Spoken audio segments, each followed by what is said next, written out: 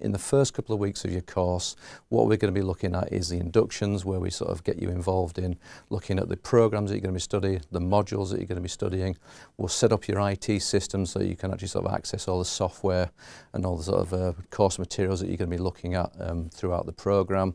Uh, we'll get you interacting with other students in other disciplines within the school. Um, we'll also sort of try to get you out on some site visits um, to get you an idea of what you're going to be sort of dealing with in your long-term sort of career pathway. Uh, we'll get uh, the professional body to come in and have a talk to you about you know how how you can become in, involved in the industry. We'll also introduce you to the to the staff who are going to be looking after you. So there'll be the, the teaching staff there'll be the support and administration staff. We'll we'll be looking at the campus uh, looking at what we can achieve uh, within within this particular environment